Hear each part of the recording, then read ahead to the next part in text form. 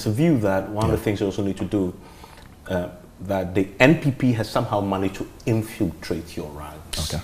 to the point where they now are able to control some of the outcomes, even within the N- NDC.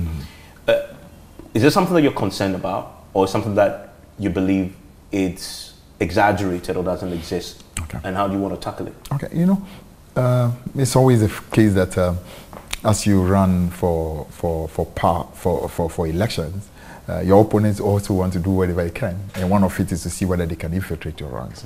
But you know, I've always believed in one thing that uh, those who really do the decision, those who take the ultimate decision, are the masses.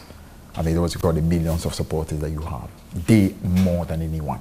So the leadership is important, but the voice and the will of the of the of the, of the, of the team and supporters of the party and those who are sympathizers who want to change, for example, will be the much more important thing. Now, if there is anybody who is even uh, what you call a mole within, that person clearly is going to be in danger, because with the kind of leadership we have at the moment, if you are a mole, you are soon going to be in trouble you definitely are going to be in trouble. So to be honest, it's something I will not I will not underplay. I will not I will not think it's unimportant.